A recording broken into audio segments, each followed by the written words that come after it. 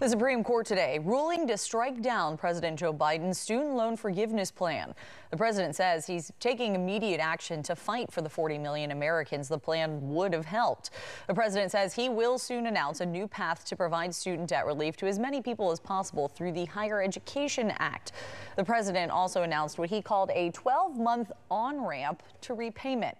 This will not continue the pause on student loans. Instead, it will temporarily remove the threat of default or having people's credit harmed if they miss a payment. Today's decision has closed one path. Now we're going to pursue another. I'm never going to stop fighting for you. We'll use every tool at our disposal to get you the student debt relief you need and reach your dreams. The president says the new plan would allow Education Secretary Miguel Cardona to compromise, waive, or release loans under certain circumstances, but did not provide an estimate of how many Americans this could impact.